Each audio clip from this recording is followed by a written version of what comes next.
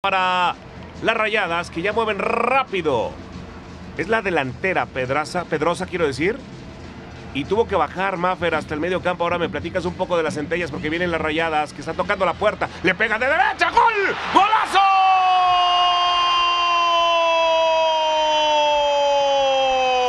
¡Golazo de las rayadas que abren el marcador a los 10 minutos!